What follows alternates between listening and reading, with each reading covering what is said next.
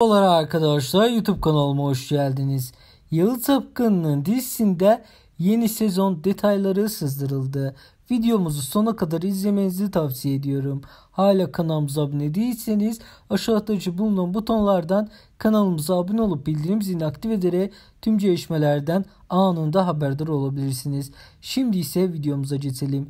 Yalı Tapkın'ın dizisinde yeni sezon detayları sızdırıldı. Sezon finali herkesi ters köşe edecek. Seyran ve Ferit kavuşması başka bahara kalacak.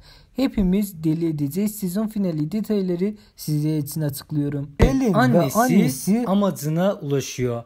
Abisinin ölümünden Seyran'ı parmağı olduğunu düşünen Ferit Pelin'le Yıldırım nikahı kıyıyor arkadaşlar. Tabii ki de böyle bir haberler çıktı. Tabii ki de ben inanmıyorum arkadaşlar. Çıkan magazin haberlerdi.